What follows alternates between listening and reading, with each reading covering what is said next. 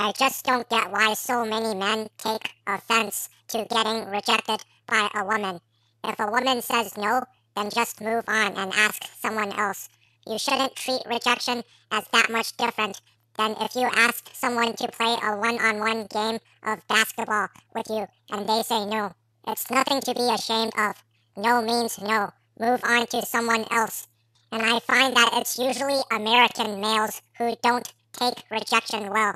Here in Canada, men seem to have more common sense when it comes to this, and they wouldn't get offended if a woman says no. Oh.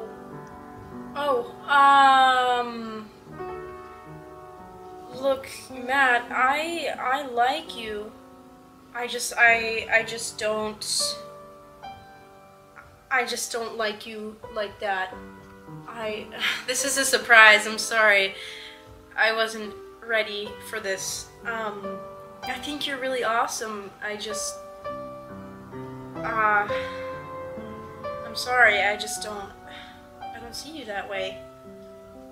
I'm sorry. it's fine. Whatever. You're ugly anyways. It's usually an American male who will get offended about being rejected and are more likely to insult the woman that rejected him even though she rejected him nicely. In some cases, women have been killed by a man for rejecting him, and a lot of those videos contain comments from misogynists supporting that here on YouTube. If that is not a good reason for women to hate men, I don't know what is. These cases are why women in America should stay armed. Sometimes no isn't good enough of an answer. Sometimes women will also have to answer with a bullet. In self defense, of course so they don't end up being on the receiving end of violence over something so small.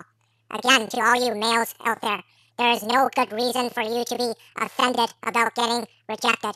Secondly, like I said before, relationships are not an essential part of our survival, so it's not a big deal if we cannot get one, even though we prefer to have one.